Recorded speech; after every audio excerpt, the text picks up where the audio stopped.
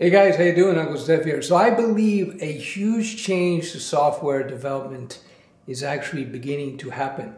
AI is part of it, but there's something more profound that AI enables to a certain extent, but it's also a change in the culture. The way people like to interact with software and computers has changed, and in some ways, it's kind of regressed back to an earlier time before the graphical user interface, or as we like to call it in the nerd world, the GUI.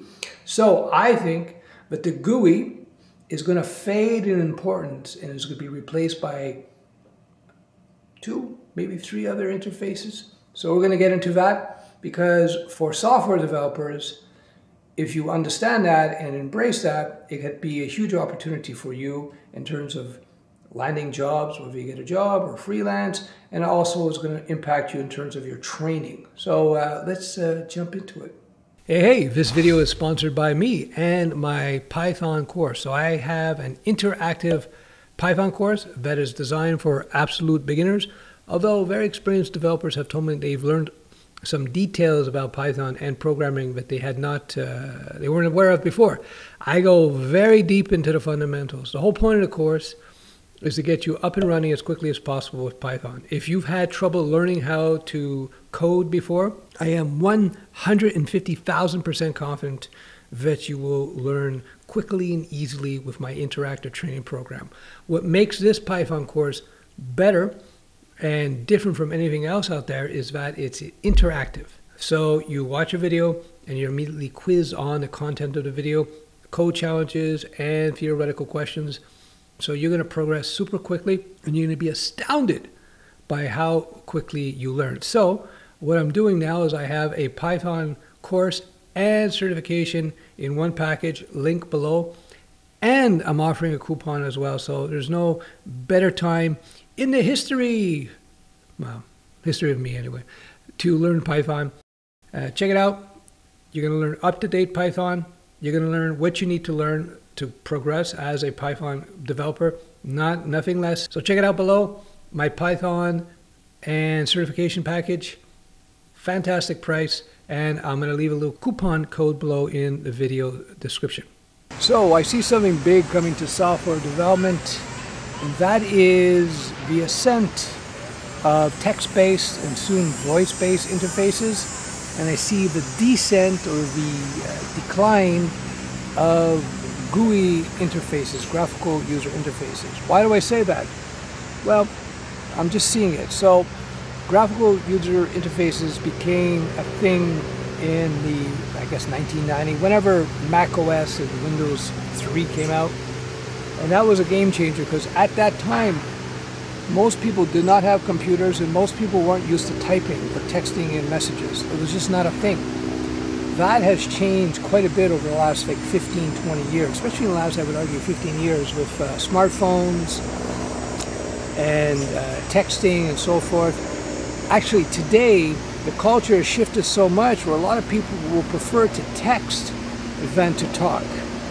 So, uh, and graphical user interfaces where you have to look for the button and so forth is actually encumbering with uh, AI-based chat interfaces because you can just ask the AI. Go to a, for example, I'm developing an AI trainer and you don't have to look for the button. You just ask the question. You say, what should I do today? What should I eat today? What's on the program today? How much did I eat today? You don't have to look for anything. You just have to type in what you want and you get a response from the AI. It's very intelligent. So yeah, I think as software developers, you have to pay attention to that. You got to pay attention to the fact that we're seeing this big change now, and I think GUI, graphical user interface based uh, design, it's not going to disappear, don't get me wrong, but it's going to fade in importance. So you're going to have the rise of text input by a chat, AI based chat, voice interface, just like uh, Star Trek. Computer, please calculate the uh, average today. I use, for example, very primitive. I use Google all the time. What's today's date? Set an alarm. Uh, what's today's weather? What's the UV index? These are questions that I ask all the time via voice. And I so I see there's going to be a lot more voice interface a lot more text chat interface, and I think uh, very soon with uh, Meta glasses and the like, Apple, uh, their headset, I think it was called, but you're going to see more visual for you. You're just going to do like this with your fingers. I guess that's kind of UI, but it's not pointing and clicking with a mouse, but gesture based. So you can use gestures. Even this camera and other cameras and gimbals can be controlled via interface. Like, you know, some cameras you go like this and you do like this, and it tells the camera, it tells the hardware what to, to do. So yeah, so I think GUI is going to slowly drop, and I so in terms of software development, what I would suggest you guys look into is these new type of interfaces. First and foremost, I would look at um, text-based, AI-based, chatbot-based interfaces. Very powerful. In fact, my new AI-based trainer, uh, Brad. Brad is text-based, and soon I would imagine if I have any success with it, I would just make it voice-based. So you don't have to go in there like a caveman and like click on buttons. Uh, you just you just ask it questions. It's it's so much more efficient. So that's the big change I think in software development. The slow diminishing of the graphical user interface. It's pretty fascinating.